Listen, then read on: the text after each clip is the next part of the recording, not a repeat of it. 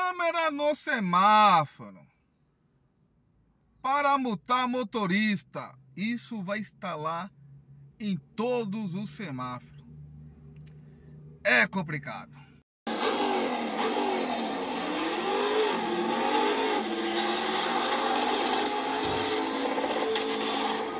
Pessoal, esse tipo de câmera que está aí na foto está sendo instalada em faróis semáforos de todo o Brasil. Para quê? Para pegar o motorista desprevenido, aquele desavisado, tá? Pessoal que não respeita, infelizmente, as leis do trânsito, principalmente agora com essas novas regras, pelo qual você não pode falar de jeito nenhum ao celular. Mão no volante o tempo todo, principalmente quando o carro para no semáforo, tá?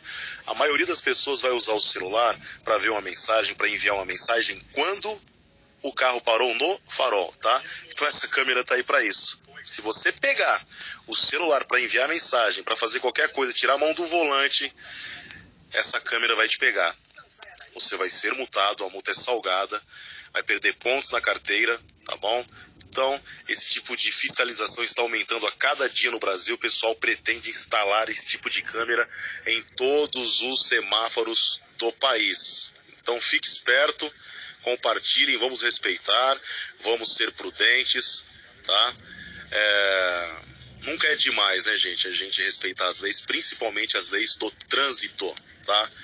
O pessoal sabe, minha opinião, muitas existem para quê? Para a indústria da multa, sem necessidade alguma, mas existem algumas como essa daí que eu acho muito viável e as pessoas precisam respeitar sim, para evitar acidente, para evitar qualquer tipo de é, situação aí que envolva outras vidas também. Tá bom, pessoal? Repassem isso. Boa sorte a todos.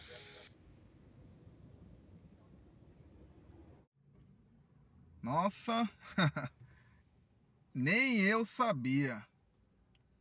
Complicado, hein, meu? Pra multar, o que mais tem? Infelizmente, em todo lugar do Brasil, tá? Vai instalar essa câmera aí em todos os semáforos. Lógico, para levantar um dinheiro, né? Gente, não vamos deixar essa informação só para você. Compartilha nos grupos de WhatsApp, no Facebook, no Instagram. Para outros motoristas não levar multa. Beleza?